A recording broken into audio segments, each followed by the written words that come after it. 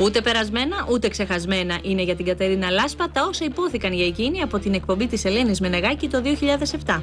Αυτό τουλάχιστον άφησε να εννοηθεί απαντώντας στις ερωτήσεις του Γιώργου Σατσίδη στο MTV. Δεν σκέφτηκες μήπως θα ήταν καλύτερα να πάω από κοντά να το λύσω στον αέρα; Γιατί συνήθως μερικές φορές γίνεται, ξέρεις, οι διενέξεις να λύνονται και on air.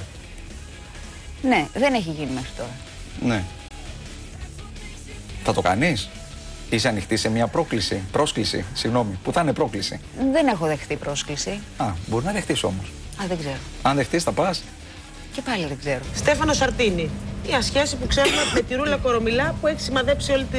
Το ξέρει όλη η Ελλάδα, ασχολείται. Δεν είναι κρυφό. Μπαίνει λοιπόν ένας τρίτος άνθρωπος, είτε έχουν χωρίσει είτε όχι, και αγγίζει την προηγούμενη σχέση μιας πολύ δημοφιλούς παρουσιάστριας. Όταν το βγάζεις όμως τόσο πολύ έξω τα φώτα, είναι σαν να έχεις πάει στο λάκκο και να αρχίσει μόνη σου να σκάβεις. Ήταν αυτά ακριβώς τα λόγια που θεωρήθηκαν προσβλητικά από την Κατερίνα Λάσπα, η οποία κατέθεσε αγωγή εναντίον της Ελένης Μενεγάκη, ζητώντας αποζημίωση 500.000 ευρώ για ηθική βλάβη. Θα σας πω όμως ότι είναι ένα πρόσωπο το οποίο όταν πρώτο ήρθε στην Αθήνα έκανε μία δήλωση. Ήρθα, είπε στην Αθήνα για να πετύχω. Το έχω. Το όχι. Πες το.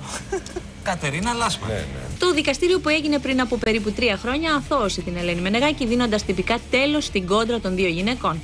Δικομανής δεν είμαι και πρώτα απ' όλα το επειδή είναι πει ψυχοφθόρες και χρονοβόρες διαδικασίες Ναι. βαριέμαι απίστευτα αλλά κάποιες φορές ε, δεν έχεις άλλη επιλογή να προασπίσεις κάποια πράγματα. Ναι. Η Κατερίνα Ζαρίφη πάντως πρόσφατα παραδέχτηκε στον αέρα πως τα σχόλιά της για την Κατερίνα Λάσπα όταν ήταν στην εκπομπή της Ελένης Μενεγάκη ήταν κάπως εχμηρά. Είχαμε κάνει κάποια Εμένα σχόλια όχι. που η ίδια θεώρησε ότι δεν ήταν, Συλλέξω. Ναι. δεν ήταν κολακευτικά για την καριέρα της και για το πρόσωπό της.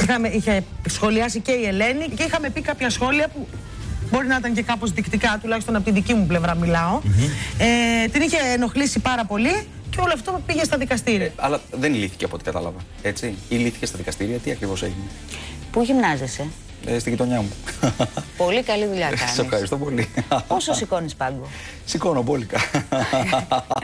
Πόσες επαναλήψεις; Άπειρες.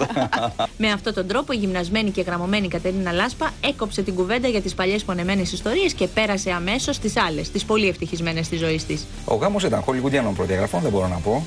Κι όμως ήταν πάρα πολύ απλός, σχεδόν παραδοσιακός, ε, βοήθησε πάρα πολύ το τοπίο, είναι στον Άγιο Σώστη. Ναι. Δεν υπήρχαν καν προσκλήσεις Ναι. στο γάμο.